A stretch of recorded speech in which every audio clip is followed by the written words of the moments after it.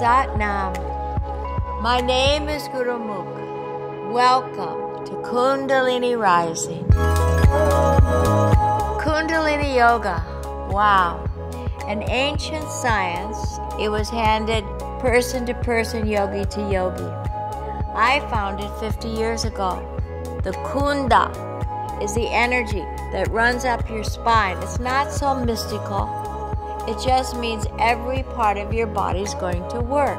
Your mind, your body, your spirit. Everything is going to work together to give you more health, more happiness, more wholeness.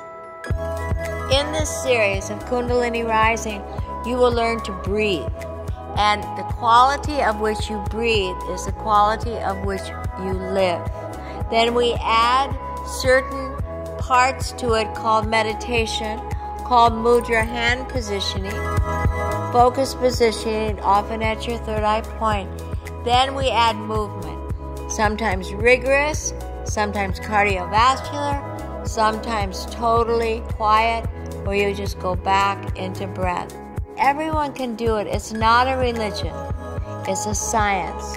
And no matter who you are, where you live, your physical condition, you will benefit from it.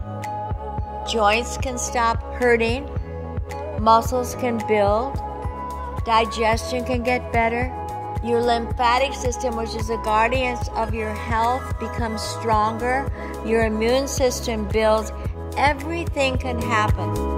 All I can go back to when I try to explain Kundalini Yoga is one, you have to do it. Two, you will have a miracle, and that's a promise.